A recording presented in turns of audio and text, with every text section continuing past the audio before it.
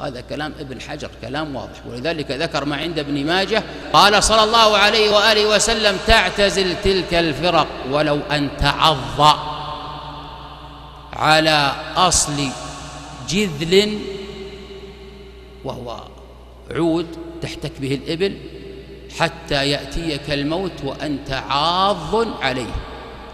ذكر رحمه الله كلام البيضاوي. قال مما يدل على أن من عض الشجر عليه أن يتحمل ما يأتيه من شدة في الزمان. إذا كثرت الأحزاب ولم يكن هناك إمام فليصبر. كما يقال فلان يعض على الحجر من شدة الألم.